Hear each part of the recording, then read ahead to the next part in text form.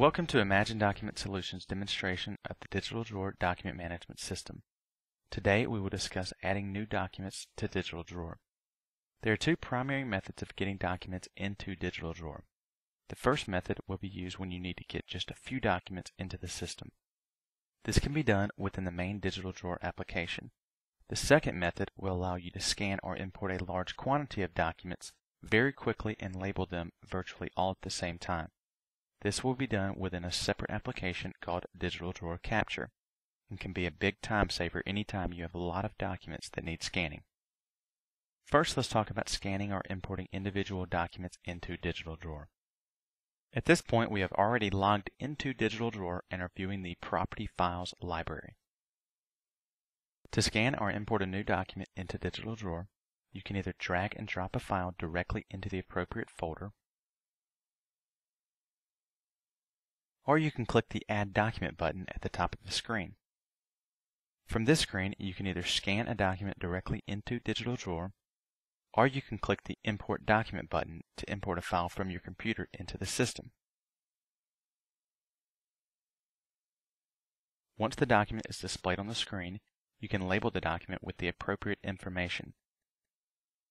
As you can see, when we selected 199 Comer Circle as the property address, the city, MLS number, and listing agent fields were automatically filled in with the information pertaining to this property. This feature can speed up the process of labeling documents tremendously.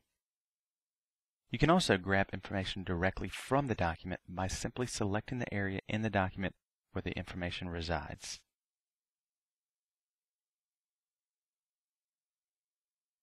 You can then paste that information into the appropriate field by right-clicking your mouse and selecting Paste. This can also speed up the labeling process as well as prevent you from misspelling information. This is very handy if there are complex numbers on the document, such as an invoice number. Once you are finished labeling the document, you can upload the document into Digital Drawer by clicking Upload Document. Once the document has been uploaded, you can either proceed to import more documents into Digital Drawer or close the screen and go back to the document grid. As we mentioned earlier, this is how you can get individual documents into the system.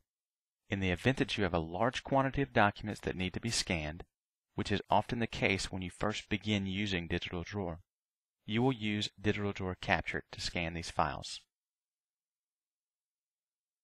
Digital Drawer Capture is our tool designed to help organizations utilize the full speed of their scanner by allowing them to scan stacks of documents at once directly into Digital Drawer. The application then allows you to easily parse the scanned pages out into smaller, logical documents for which the user can label virtually all at the same time. At this time, we have logged into Digital Drawer Capture and are viewing a batch of scanned property files. We have already scanned a stack of pages into the application by clicking Documents Scan Documents. In the list on the left, each numbered row represents one scanned page. The D to the left of the page number represents the beginning of a new document. These Ds can be easily removed or moved around by simply clicking your left mouse button. In order to get the Ds into the list, you can do one of two things. The most common way is to print out several of our document separator sheets from under the Tools menu. You can then insert the document separator sheets into the stack of pages in between the logical documents. When you scan the stack of pages into the application, Digital Drawer will recognize the document separator sheets and will add the Ds into the list accordingly. Another common way of doing this is to not use the document separator sheets at all. Instead, just scan a stack of pages directly into the application. At that point, what you will have will be a lot of pages with no document breaks.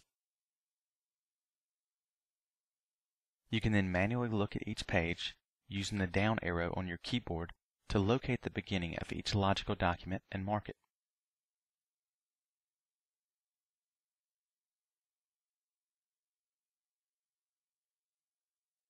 Regardless of the method that you use, you are able to scan a large number of documents all at one time instead of having to scan each individual document separately.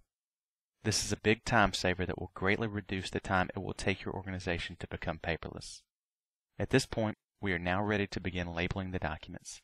This is a very quick process and one of the biggest benefits of using Digital Drawer Capture as opposed to some other scanning application. We will start by labeling the first document in the list using the exact same method that we used previously in the main application.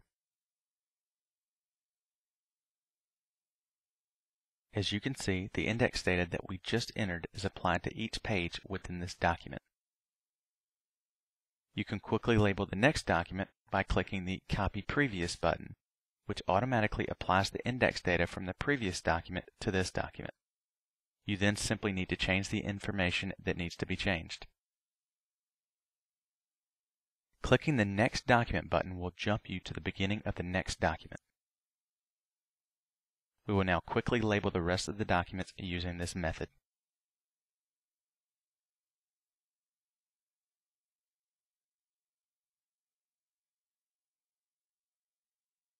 As you can see, this is a very efficient method of labeling all of the documents that you have just scanned. This process can turn the most cumbersome part of becoming paperless into a quick and easy task. Once you have completed labeling all of your documents, you can then easily upload them into Digital Drawer by selecting Batch, Upload Batch to Digital Drawer.